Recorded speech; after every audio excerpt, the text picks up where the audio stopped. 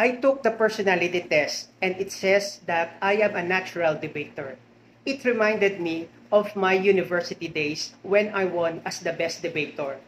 Well, we were debating whether this glass is half full or half empty.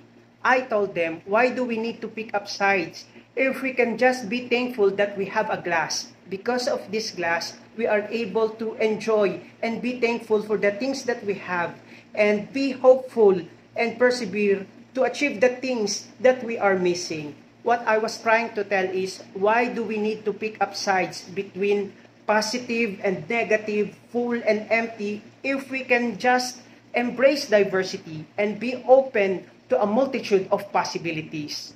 To sum it up, Yoma and Goodwall seem to understand my personality as a debater.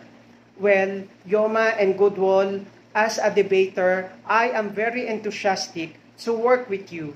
Together, we can pick up and discuss multiple issues. We can break down and analyze complex ideas. We can provoke our audience to think and engage them in intellectual debate and motivate them to move into action and promote social good and bring positive impact to our world.